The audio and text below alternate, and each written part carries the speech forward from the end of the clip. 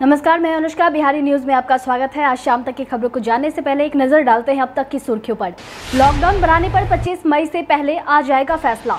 अब हर घर तक कोरोना जाँच के लिए पहुंचेगी आरटीपीसीआर वैन। ग्रामीण इलाकों में बढ़ सकती है लॉकडाउन के दौरान सख्ती।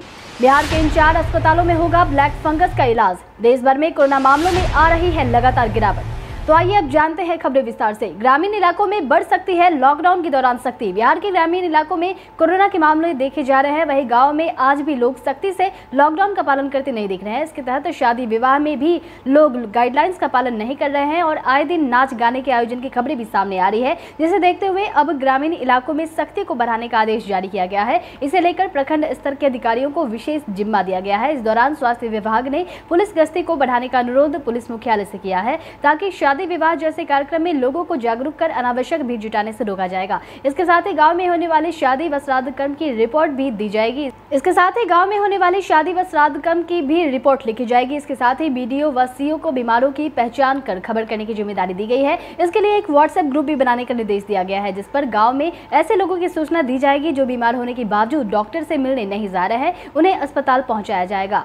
बिहार में दूसरी लहर में बेहतर हो रहे हालात। राज्य में लगातार रिकवरी रेट में सुधार हो रहा है और एक्टिव मामलों में भी कमी आई है। जिसे लेकर स्वास्थ्य मंत्री मंगल पांडे ने कहा कि कोरोना की दूसरी लहर में अब बिहार में हालात बेहतर हो रहे हैं और सरकार अब तीसरे चरण से निपटने के लिए पहले से ही तैयारी में लगी हुई है। उन्होंने कहा कि रोज़ाना एक लाख से अधिक जाँच की जा रही है। जो जाँच में पॉजिटिव पाए जा रहे हैं, उनको तुरंत आइसोलेट किया जा रहा है, जिस कारण मरीज़ की संख्या कम हो रही है। वही कोरोना के तीसरे फ़ेज़ के लिए स्वास्थ्य विभाग अभी से ही उपकरण की व्यवस्था कर रहा है। साथ ही तीन महीनों के लिए अस्पतालों में कर्मियों को बहाल करने की पूरी छूट सभी जिलों के सिविल सर्जन को दी गई है। साथ ही इन कर्मियों को मानदेय भी दिया जाएगा। वहीं उन्होंने बताया कि आज वैक्सीन आ गई है, जिससे वैक्सीनेशन कार्य जारी रहेगा।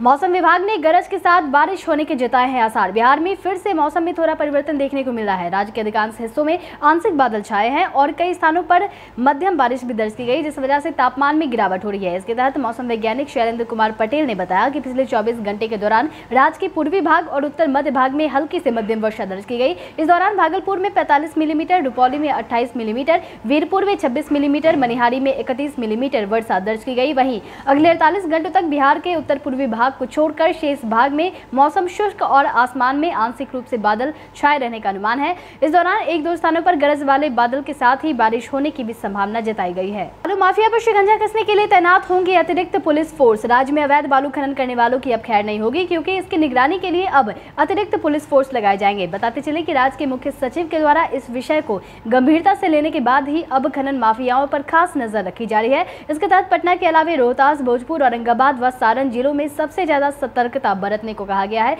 इसके लिए पुलिस मुख्यालय ने कार्रवाई से जुड़ी रिपोर्ट भी संबंधित जिलों के एसपी को लगातार देने को कहा है। अभी तक की मिली रिपोर्ट के अनुसार भोजपुर में कुल 205 रोहतास में एक सारण में एक पटना में एक सौ चौदह, औरंगाबाद में सतहत्तर, व कैमूर में इकतीस छापेमारी हुई है। वही अवैध खनन के आरोप में भोजपुर में सबसे अधिक तिरपन, सारण से चौतीस, कैमूर से इकतीस, रोहतास से अट्ठाईस, औरंगाबाद से बारह, जबकि पटना से सबसे कम दो लोगों की गिरफ्तारी हुई है। शादी समारोह की तरह सजा है टिकारी प्रखंड का सामुदायिक किचन सेंटर। सरकारी निर्देश के अनुसार कोरोना महामारी में हर ज़िले में सामुदायिक किचन चलाया जा रहा है। ऐसे में गया का एक सामुदायिक किचन की हर ओर चर्चा हो रही है। दरअसल गया के टिकारी प्रखंड कार्यालय के समीप सामुदायिक किचन सेंटर को एक शादी समारोह की तरह सजाया गया है। लोग यहाँ आराम से कुर्सी पर बैठकर खा सकते हैं। इसके अलावा बच्चों का भी ध्यान रखा जा रहा है। बच्चों के लिए सामुदायिक किचन में दूध और बिस्किट की भी व्यवस्था की गई है। यहाँ पर जिला प्रशासन की ओर से तय मेन्यू के अनुसार प्रतिदिन खाना बनाया जाता है। इसके तहत यह सामुदायिक किचन सेंटर और सहाय बेरोजगार, मजदूर, बुज़ुर्ग और जरूरतमंदों के लिए सहारा बना है। वहीं होम आइसोलेशन वालों को भी घर तक खाना पहुँचाया जाता है। इसके साथ ही यहाँ कोरोना टीकाकरण के साथ ही जॉब कार्ड के प्रति जागरूकता के लिए संदेश भी लिखे गए हैं। अब हर घर तक कोरोना जाँच के लिए पहुंचेगी आरटीपीसीआर वैन अगर आपको कोरोना जैसे लक्षण दिख रहे हैं, लेकिन आप अस्पतालों या फिर सेंटरों में जाँच करवाने नहीं जाते हैं तो चिंता की कोई बात नहीं। अब आपके घर में भी टेस्ट हो सकता है। इस सुविधा के लिए मुख्यमंत्री नीतीश कुमार ने वर्चुअल माध्यम से कोरोना की आरटीपीसीआर जाँच के लिए मोबाइल टेस्टिंग वैन को हरी झंडी दिखाकर रवाना किया है। इसके तहत यह लाभ पटना और इसके समीप के जिलों को फ़िलहाल मिलेगा। मुख्यमंत्री ने पटना एवं निकटवर्ती जिलों के लिए इस चलंत टेस्टिंग वैन को रवाना किया है। वहीं बाद में और भी वैन की उपलब्धता हो जाने पर अन्य जिलों में भी इसे शुरुआत किया जाएगा। इसके तहत खासकर ग्रामीण क्षेत्रों के लिए इस टेस्टिंग वैन की शुरुआत की गई है और इस क्रम में प्रतिदिन एक चलंत टेस्टिंग वैन से एक हज़ार जाँच होगी और चौबीस घंटे में इसकी रिपोर्ट भी लोगों को मिल जाएगी। वीडियो कॉल के माध्यम से डॉक्टरों ने कबाड़ परे वेंटिलेटर को कर दिया ठीक। कोरोना पीड़ित मरीज़ के लिए वेंटिलेटर, उनके इलाज के लिए संजीवनी बूटी है। बिहार के अस्पतालों में कई जगह वेंटिलेटर तो है, मगर उसे चलाने के लिए तकनीशियन की कमी है। मगर औरंगाबाद के सदर अस्पताल में संसाधनों की कमी के बाद भी एक डॉक्टर और कुछ नर्सों के सार्थक प्रयास ने इस मुश्किल का भी हल ढूंढ निकाला है। इन डॉक्टरों ने वीडियो कॉल पर दिल्ली एम्स से तकनीक सीख कर चार साल से बंद पड़े और कबाड़ बन चुके आईसीयू के चार वेंटिलेटर को इस सिस्टम ने शुरू कर दिया। वही इससे अब तक कई मरीजों की जान भी बचाई जा चुकी है। जानकारी के मुताबिक जर्जर हो चुके वेंटिलेटर को फिर से शुरू करने में डॉक्टर जन्मजय की प्रमुख भूमिका बताई गई है।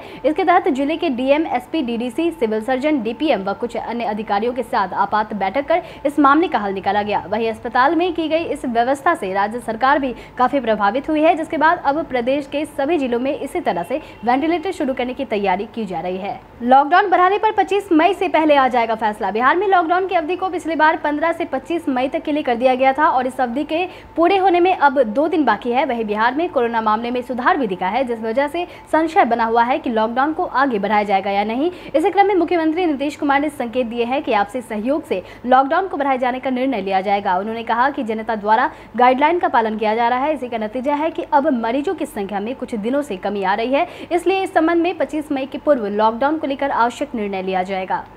गंगा नदी पर बन रहे नौ मेगा पुल जल्द बनकर हो जाएँगे तैयार। केंद्र सरकार द्वारा राज्य में कई पथों और पुल का निर्माण कराया जा रहा है, जिसे अब बिहार सरकार भी तय समय से भी जल्द पूरा करवाने की जुगत में है, ताकि लोगों को आवागमन में आ रही असुविधा न हो। इसके लिए मुख्यमंत्री नीतीश कुमार ने बीते दिन एक वर्चुअल बैठक में पदाधिकारियों को निर्देश दिया है कि गंगा नदी पर निर्माणाधीन नौ मेगा पुल परियोजनाओं को समय सीमा के अंदर ही पूरा करे। उन्होंने कहा कि उनके द्वारा मुंगेर घाट, रेल सह सड़क पुल का शिलान्यास वर्ष दो हज़ार तीन में अटल बिहारी वाजपेयी जी से कराया गया था, जो की बनकर तैयार तैयार है, मगर इसके अप्रोच रोड के बचे हुए 650 मीटर काम। अब भी बाकी है जिन्हें पूरा करने को कहा गया है। इसके साथ ही कच्ची दरगाह से बीदुपुर पुल, बक्सर के पुराने पुल का जीर्णोद्धार, राजेंद्र सेतु के समानांतर नए छह लेन, अंतरघाट से सिमरिया पुल, महात्मा गांधी सेतु के समानांतर नया फोर लेन पुल, मनिहारी से साहिबगंज के बीच निर्माणाधीन नया पुल एवं विक्रमशिला सेतु के कार्य में भी तेज़ी लाने का निर्देश दिया गया है। इसके साथ ही मुख्यमंत्री ने दिगवारा से शेरपुर के बीच छह लेन पुल, बेगूसराय में मटिहानी से सामो के बीच नया पुल एवं भागलपुर में विक्रमशिला से कटोरिया तक रेल सह सड़क पुल के संबंध में जानकारी ली और इसके निर्माण में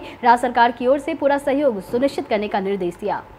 एर्नाकुलम, पटना सहित कई ट्रेनों का बंद रहेगा परिचालन। ताउते तूफ़ान के बाद चक्रवाती तूफ़ान यास की आशंका बढ़ गई है, जिसको ध्यान में रखते हुए ही एहतियाती कदम उठाते हुए भारतीय रेलवे ने बिहार की तरफ़ चलने वाली ट्रेनों को रद्द करने का फैसला जारी किया है। इसके तहत भुवनेश्वर, पुरी, यशवंतपुर आदि स्टेशनों से चलने वाली कुछ स्पेशल ट्रेनों का परिचालन अस्थायी तौर पर रद्द कर दिया गया है। इनमें पटना, मुजफ्फरपुर तथा जयनगर से खुलने और पहुँचने वाली तीन जोड़ी एवं पूर्व मध्य रेल के कोडरमा, गया, सासाराम, पंडित दीनदयाल उपाध्याय जंक्शन आदि स्टेशनों से होकर नई दिल्ली, आनंद विहार टर्मिनल की ओर जाने वाली और आने वाली सात जोड़ी स्पेशल ट्रेनें भी शामिल हैं। बिहार में रिकवरी रेट बढ़ी, लेकिन मौत के मामलों में नहीं है बेहतर स्थिति। राज्य में लॉकडाउन लगाने का असर दिखा है की आए दिन कोरोना के मामलों में अब कमी आ रही है। इस दौरान अगर हम पाँच मई से लेकर बीते दिन बाईस मई तक की बात करें तो लॉकडाउन के कुल अठारह दिनों के दौरान संक्रमण दर में लगभग बारह दशमलव चार आठ फ़ीसदी की कमी आई है। इस दौरान चौदह दशमलव चार चार फ़ीसदी के करीब रिकवरी दर भी बढ़ी है। गौरतलब है कि राज्य में चार व पाँच मई को संक्रमण दर पंद्रह फ़ीसदी से अधिक थी, जबकि अब